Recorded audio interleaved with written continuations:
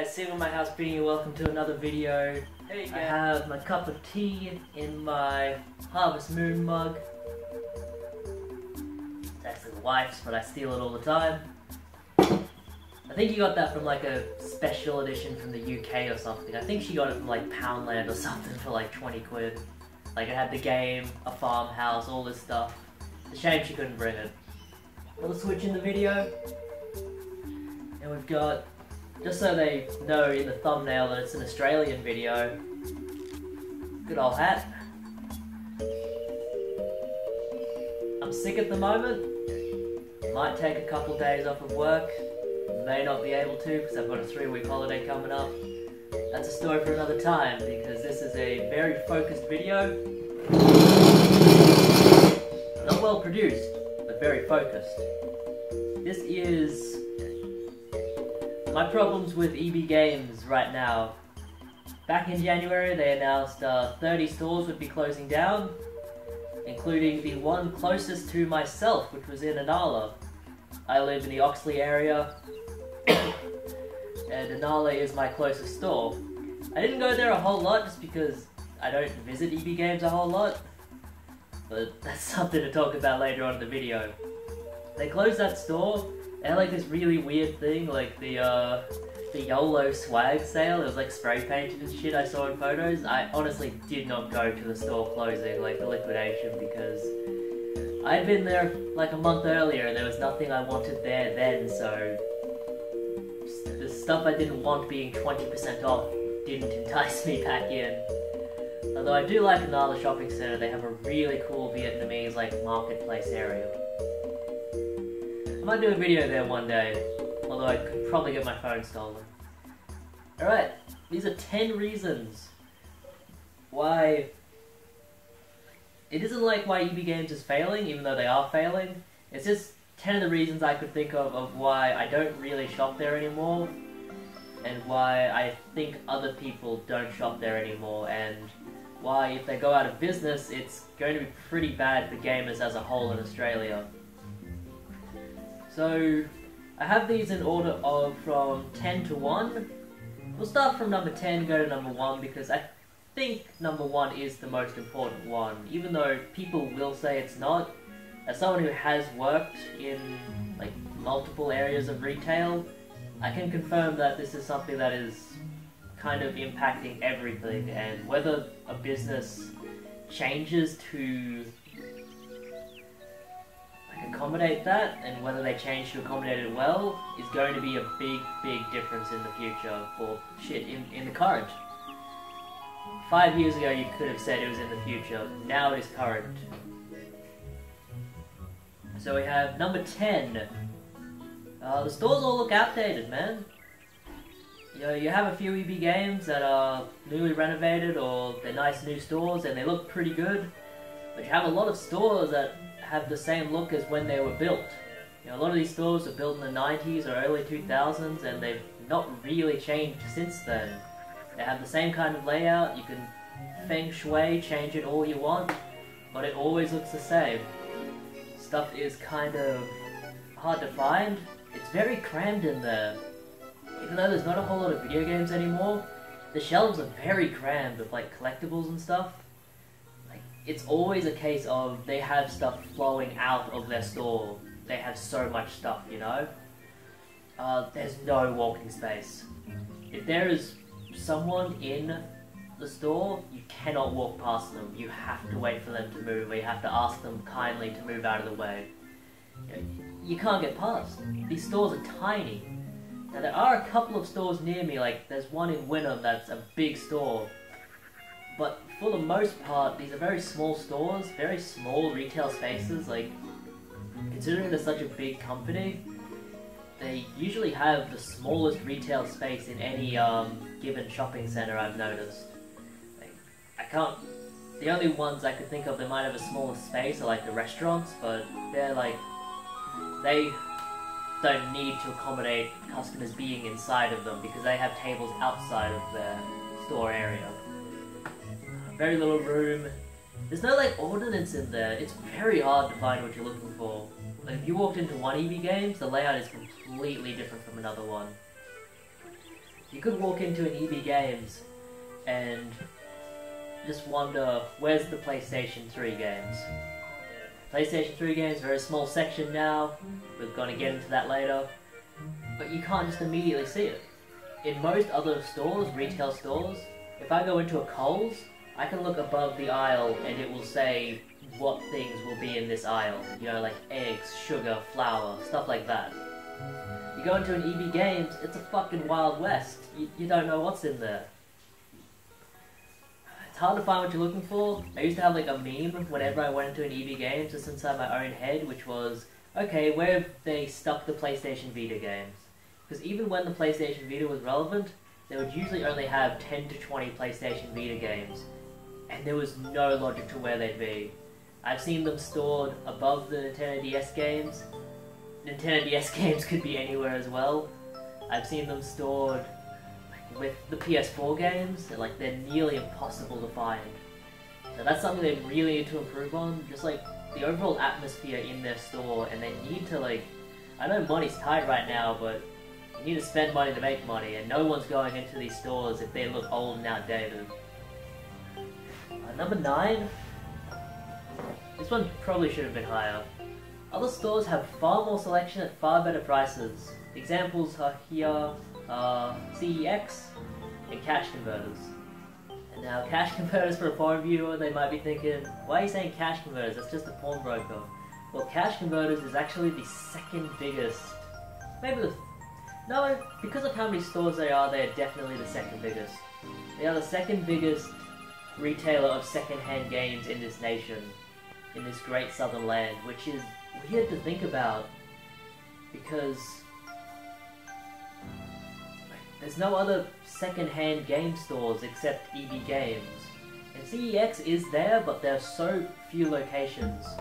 Yeah, they're only in major cities right now. There are no computer exchanges outside of these areas.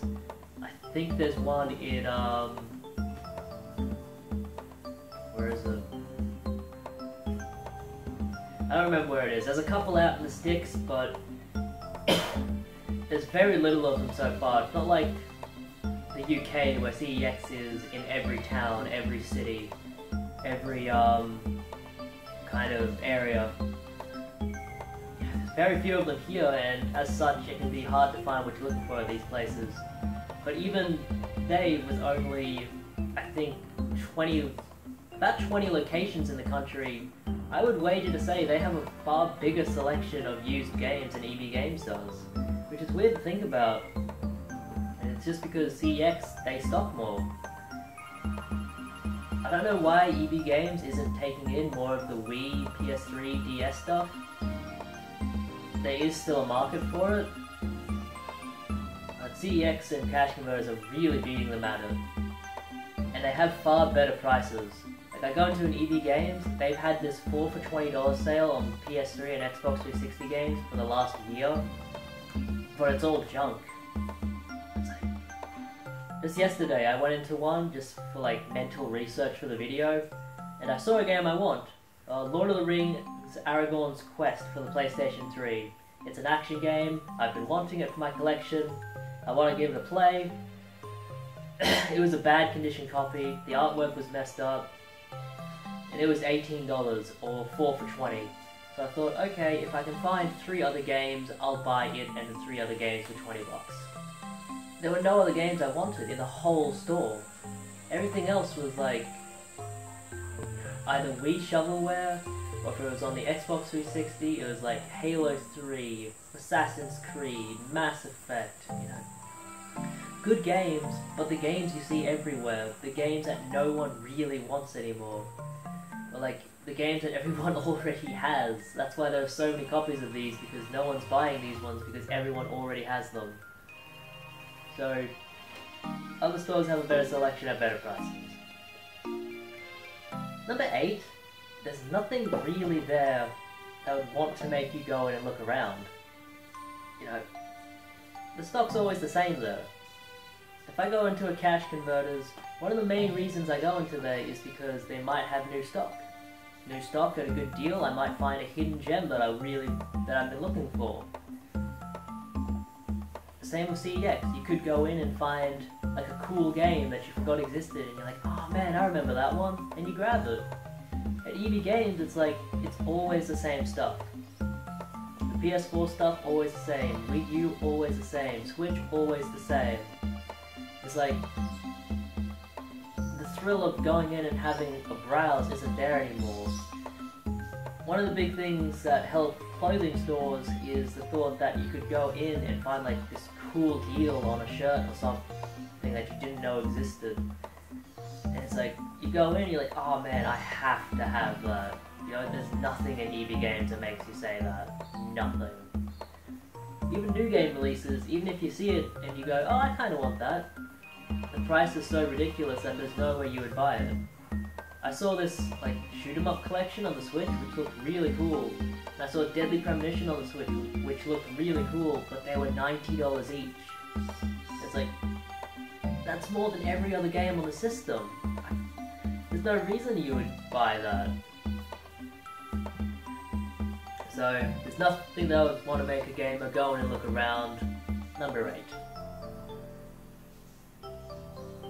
Um, you can't really go in and chat anymore either. Like, I used to be able to go into these stores and chat with other gamers. They would have events and stuff.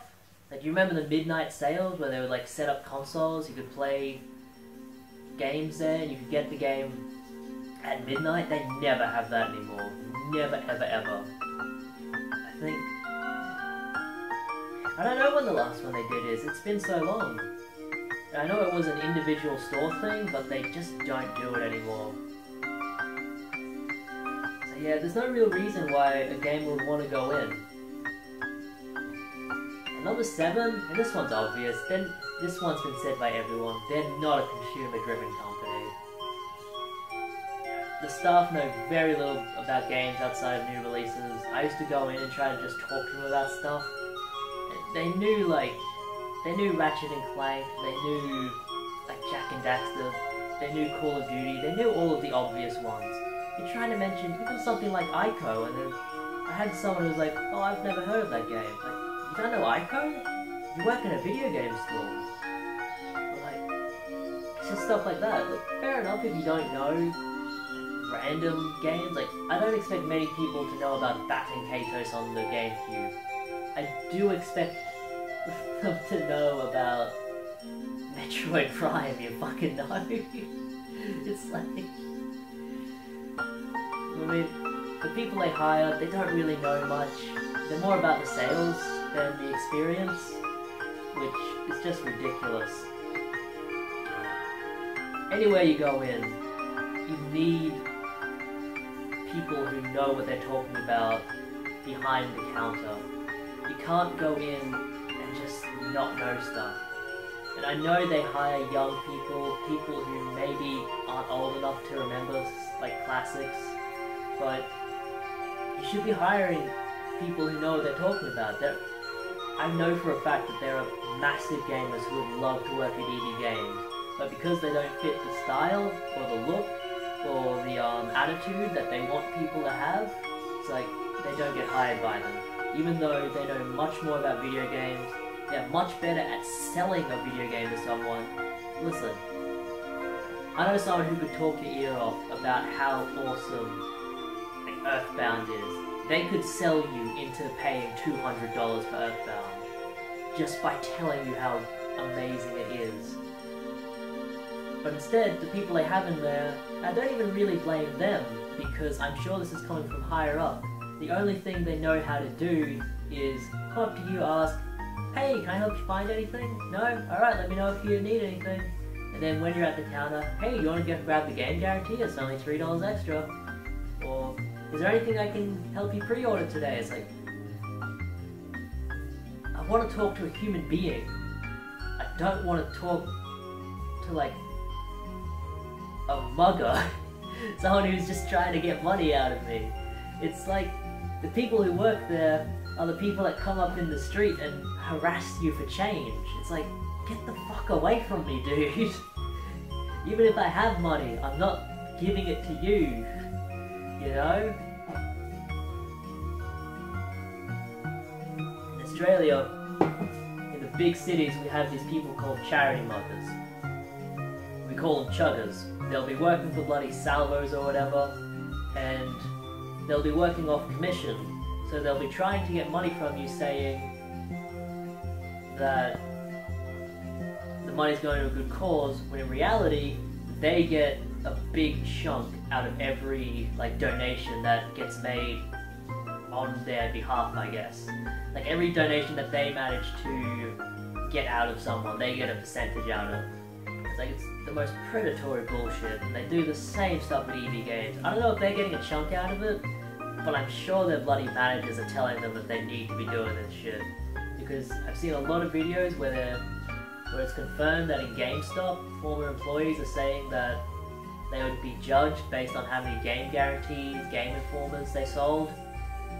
And it's just stupid because it's like you're judging a worker based on how much extra money they can get for the company more than how good of a worker they are. That's just ridiculous. So yeah, they're not a consumer driven company and the staff know very little about the games they're actually selling. Oh, and this was one I added as an extra. What the fuck is up with only one employee being in a store? The store I went into yesterday, it was in Capalaba Central, big shopping center, very busy place. EB Games was empty, man. There was a kid in there and a worker when I walked in. But you can't just have a single worker in there. Because a single worker can't do anything. You know, I don't know if someone was out for lunch or whatever, but there should never be a situation where a big retailer, they claim they're the biggest specialist retailer in the country, so why does one of your stores only have a single employee in there? It doesn't sound very big time to me. What if that employee is busy with a customer and I need something? What am I gonna do? Just stand around? That's not good customer service. And that's part of what drives people away to other stores. Like at JB Hi-Fi, there's there's at least a hundred fucking employees in there at all times. Even at CEX, there's always at least two employees in there. Most of the time there's three. Because there'll be someone who can like do trade-in stuff, and there'll be someone who can like take orders from people who are just looking to quickly buy something and leave. And that's the way it should be. Keep that flow going. Uh, number six, ridiculous launch prices. I know the margin for new games, the profit on them, it's not high, but $99 for a game that other brick and mortar retailers are charging $79 for, that's ridiculous.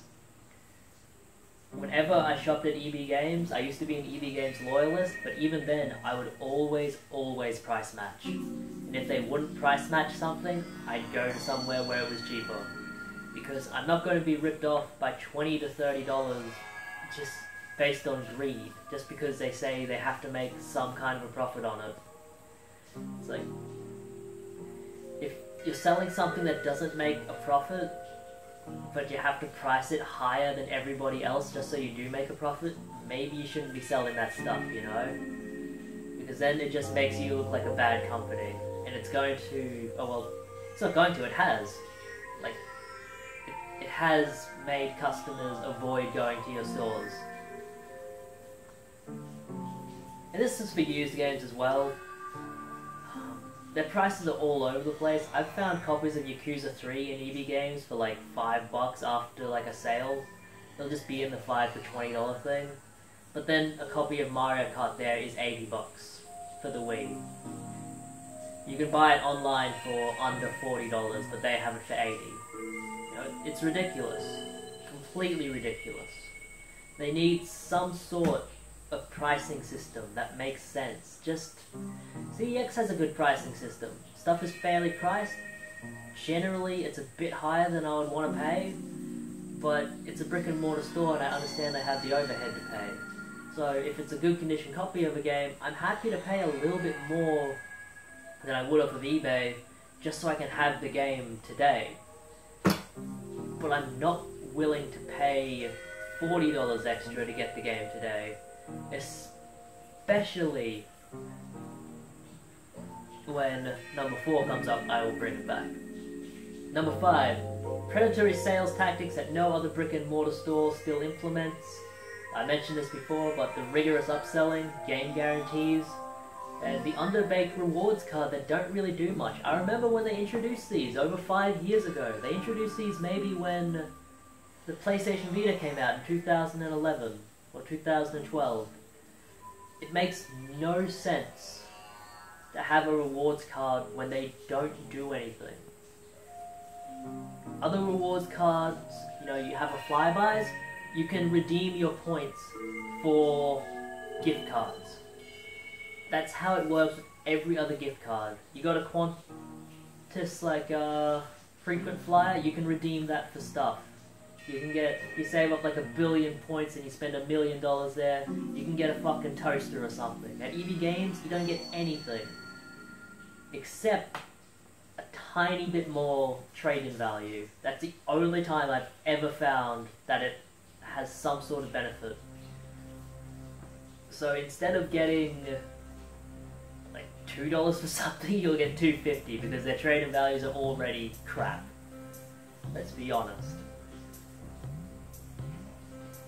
But there's no point having them if they don't do anything. It's gotten to the point where I don't even keep that card in my wallet anymore.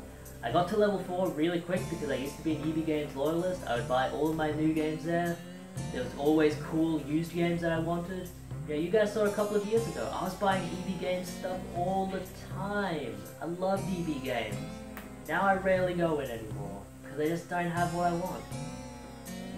And I don't even carry that card with me anymore, not even when I go into the store. I just tell them I don't have a card, I don't want a card. The only time I'll bring it is if I'm trading something in and I haven't traded anything in for like six months. Because I know I can just sell it online for more, or I can trade it into computer exchange for more, you know? And at least with computer exchange, you have that card and that's like well, all of your info is on the card. It can show that you've bought something, it can show that you've sold something, it has your trade credit on there, it's like, it's a useful card. This one isn't.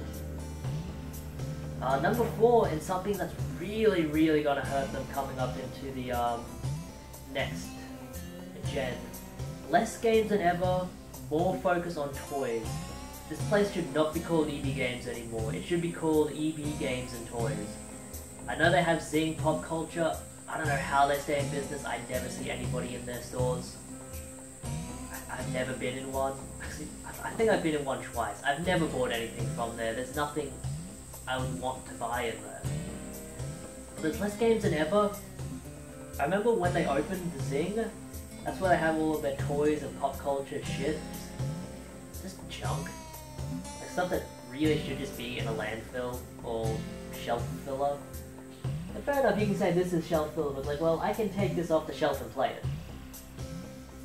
What the hell am I going to do with a toy? the only toys I've bought is stuff that I found on the cheap, you know, super duper cheap. But I'm not buying like $300 statues, ever.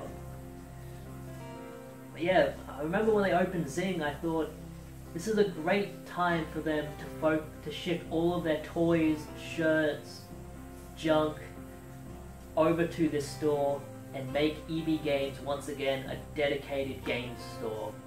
But they did not do that. In fact, it seems to be the opposite, where the overflow from Zing is now just coming into EB Games, and there's less room, less room than ever for video games, and they're just getting crammed.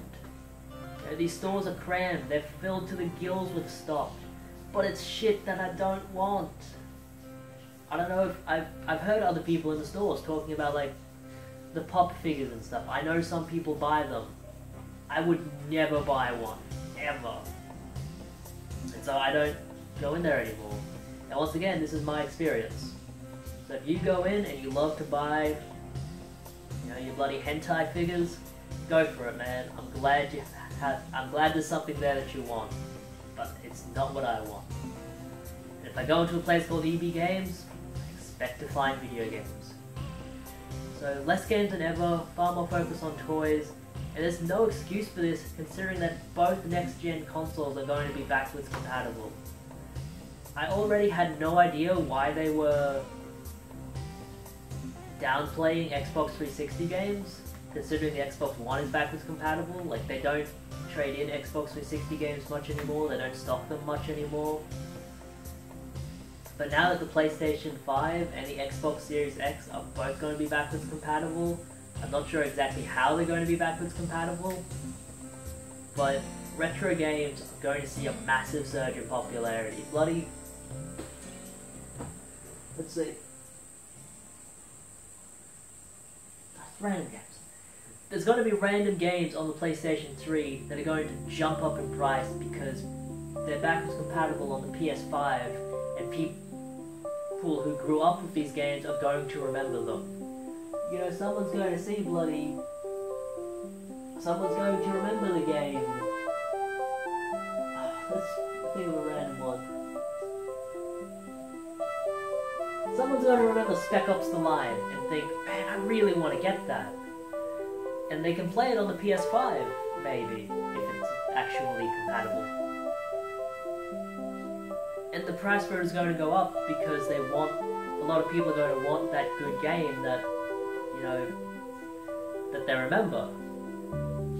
But EB Games isn't stocking them anymore. You never, you can find PS3 games there, you can't find any good ones. I guarantee you, you cannot find any good ones.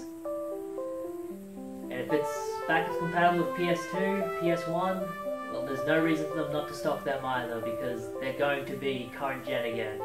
If you can play them on the current gen systems, you should be stocking them in your store. And people are going to want them. You know, people are going to want the original Crash Bandicoot. People are going to want Jak and Daxter, Ratchet and Clank. There's no reason not to stock these things. Fair enough if you don't want junk games like Full Spectrum Warrior or you know Final Fight Streetwise, but you should have games like Grand Theft Auto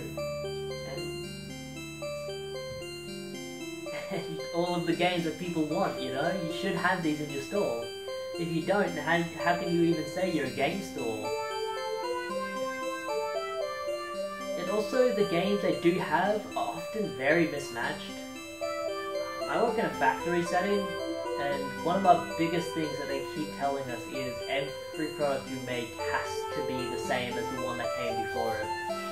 We sell to the customer has to be the same every single time, otherwise we're selling them a product that we are lying about.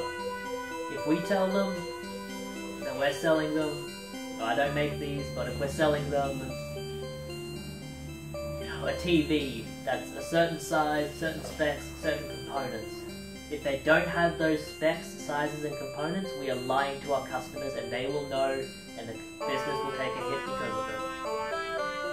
So when you're always selling games with missing manuals, no artwork, scratched discs, you can't just say, oh well they're used and expect people to accept that. You have to have quality control in the stores. If someone brings in a game that doesn't have the artwork, you tell them, hey, I'm sorry, we don't take games without the artwork. It used to be if they had a game without the artwork, it would be a couple of dollars less than the game with the artwork, but now that's not true, it's just the same price. Or if it's a game for scratch disc and your disc resurfacing machine can't get it working, you just gotta tell the people, hey man, I'm sorry, this is fucked. We can't take it. Number three, stop focusing on sales. Straight up. It's a meme at this point. They're always having a sale. Always. I can't imagine how much plastic they waste putting up all those stupid sales signs so that they could catch your eye. And people look at them and say, oh, I wonder if EB Games is having a sale, but they don't actually go into EB Games. And when you get to the point that you're always having a sale, it has gotten to the point where people think that the sales price is always going to be the good price and the regular price is the price that you shouldn't pay. So I would never pay a regular price for a game in EB Games. Why would I? There's going to be a sale in a couple of minutes. you know? So you gotta stop with the sales, you just need to have a regular pricing system, one that makes sense. Number two, this is what a lot of people are doing to help combat number one. It's exclusive materials that people actually want. EB Games has a very big lack of exclusive stuff that people want. I know they do the pre-order bonuses, But people don't really want that. So I have this up on my laptop. We have Animal Crossing here, seventy-nine ninety-five. It comes with a pre-order keychain. That's all well and good, but JB Hi-Fi has it for eleven dollars less. Is a keychain worth eleven dollars, babe? No. No. She just got out of the shower. The camera still filming? Yeah. Good. I always fear that it just turns off and I don't notice. That's why I checked it. Thank you. So it's you need stuff that people want. The reason why a lot of these clothing stores are still doing well, despite a lot of online clothing stores smashing a lot of them, is because a lot of them have clothes that you cannot get online. Or they have prices that you cannot get online. You know, if you go in and you find this pair of jeans that's like it's it's a perfect pair of jeans, you will buy the pair of jeans in the store. Because you can't find that pair of jeans online. Same with like a shirt, with like an awesome thing. You're not gonna find this shirt online. I, I don't even know where you could find this shirt anymore. But you need exclusive stuff that people want. Fair enough if the game goes online later, but they should be paying these developers big, big money to get exclusive games to their stores. I remember they did that a little bit. They had. Grab it off the shelf.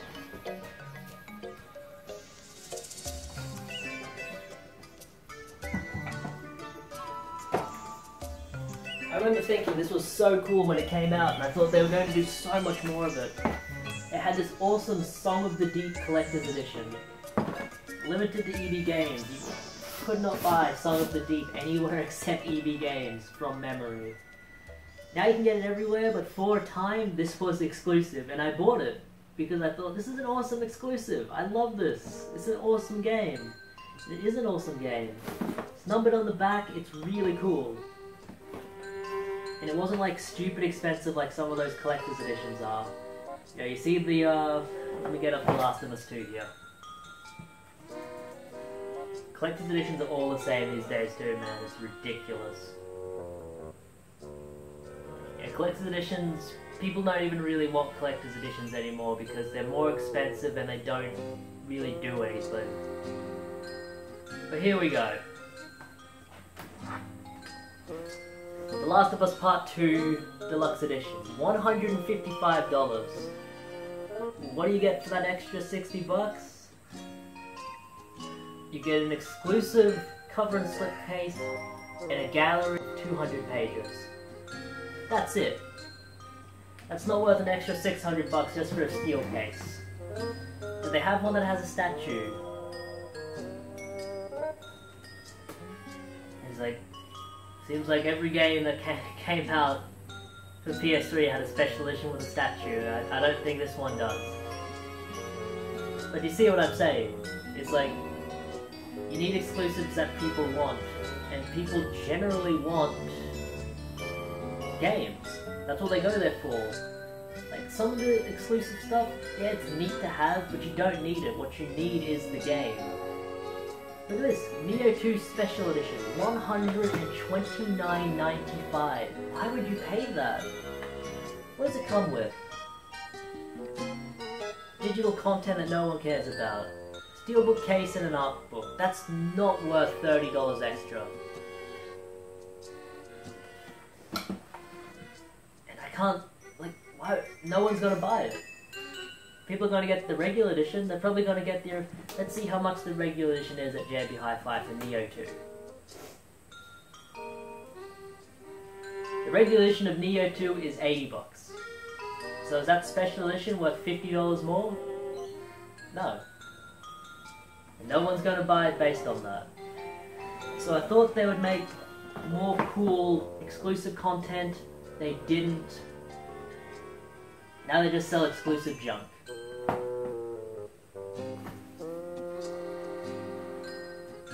And it leads me to number one, and this is the main reason why they are struggling, whether people want to admit it or not. Everything else helps, but this is the big one. One, a strong industry move and a strong industry-wide move to online sales. The PS4, about 50% of its sales is online now, on the digital storefront. It's just more convenient, straight up. A lot of people, wife says it's true. A lot of people like to have the game itself. A lot of people don't consider it to be worth it anymore. It's the same, it's why a lot of people have Netflix instead of DVDs. They think, well, I could have the game right now installed on my system for the same price. I don't have to get up, I don't have to go out, I don't have to do anything. Sometimes. Yeah, sometimes like cheaper. on sale strike, like sometimes on the online. Yeah, you can get a good deal on the online store. It'll usually be cheaper than the physical game. And if you're someone who has Steam or something, like EB Games has given up on the PC marketplace. They've just given up. Steam has dominated them. If you can get it on Steam for the same price, installed on the day, you can install it before it comes out, so that you can start playing it directly at midnight if you're just a gamer looking to play the game, you're not a collector who wants something to have on their shelf, there's no reason not to go for that option. And this is something that's a little bit different with other retailers, but a lot of retailers have moved online with a lot of their stuff. I worked at Coles for a bit, and something they implemented was Coles Online, where you could get your groceries delivered to you, or you could order the groceries and then pick them up from the store, so you don't have to do the shopping experience. That was a cool idea. Employed people, employed extra people, and it made the customer's experience better. EB Games doesn't really have anything like that. Yeah, they actually they do have stuff like that, but it's half baked.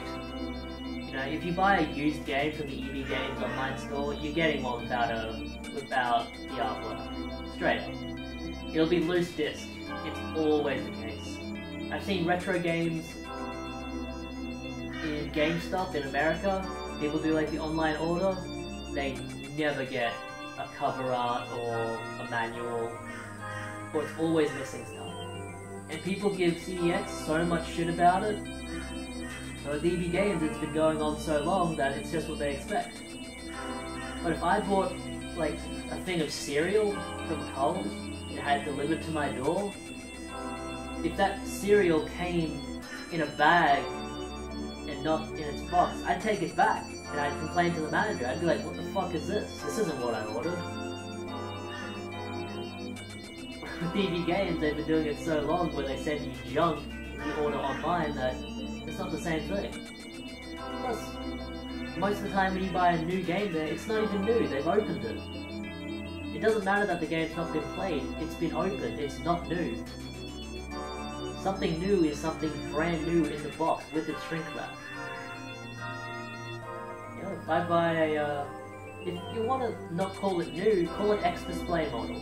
That's what they do with TVs. You get a little discount on it because they're X display. EB games, they just still charge you full price. But it's a strong industry-wide move to online sales. EB Games does have their online store, but it's so shit. You can't find anything on there. They don't have stock. I'm trying to find copies of games that I want. You can't find them. You type in Yakuza 3 and it comes up with bloody Call of Duty Modern Warfare. It's ridiculous. You're trying to browse for, for a game that you want, you can't find it because either they don't have it, or their search system is so messed up that it's not in there. I remember when the Wii was relevant, I would try to try to find Silent Hill Shattered Memories on the Wii. I could not find a copy. Ever. It wasn't in their system. Not on the website, not when you went into their search bar and searched up Silent Hill Shattered Memories. If I searched up Silent Hill Shattered Memories EB Games on Google, it would take me to that page where the game was. But not searching on the actual website. And that's ridiculous. So, all of these points leads me to the conclusion of it really sucks. Because even though EB Games isn't a great company and they kinda never were, if they go away, there is no big second-hand retailer to take its price, to take its place. CEX is still in its infancy in Australia. We don't know if it's going to really take off. It's got a few good stores. I'm sure they're profitable for what they are. They're very small scale. They're very,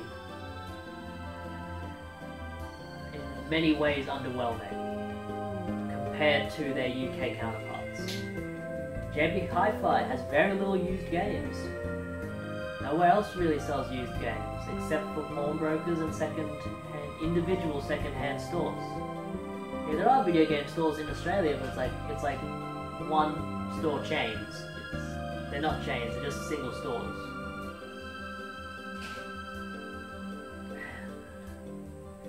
Kmart doesn't sell games anymore. Target sells a very limited selection. Big W, very limited selection. Brick and mortar stores, they don't really have an interest in selling games anymore, it seems.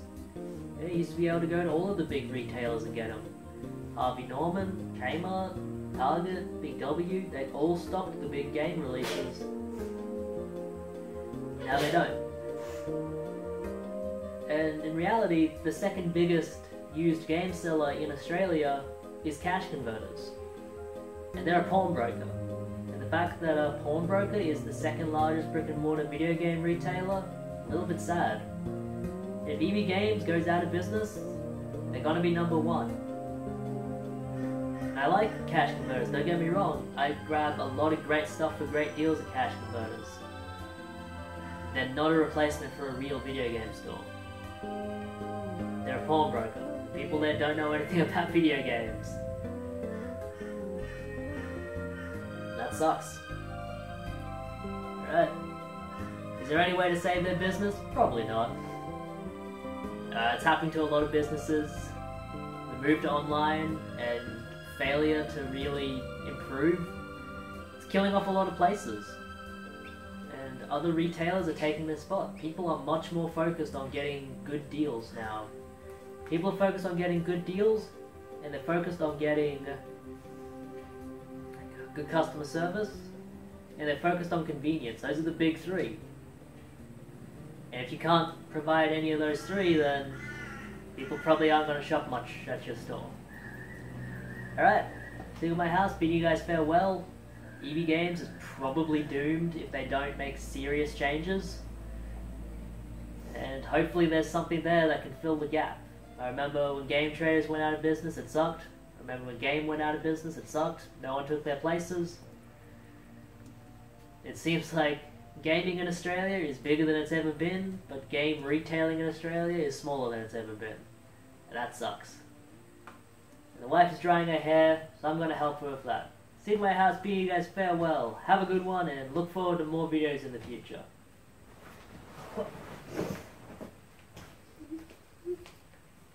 Done.